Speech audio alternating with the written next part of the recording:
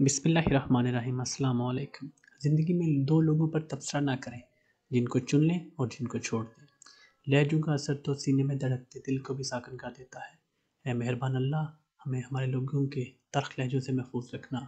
पाक परवरदिगार, आपकी ज़िंदगी में बरकत रहमत और अरुजता फरमाए। आपको शाद बात रखे, हम सबको नमाज़ की पाबंदी नसीब फरमाए। आमीन या रब्बल आलमीन।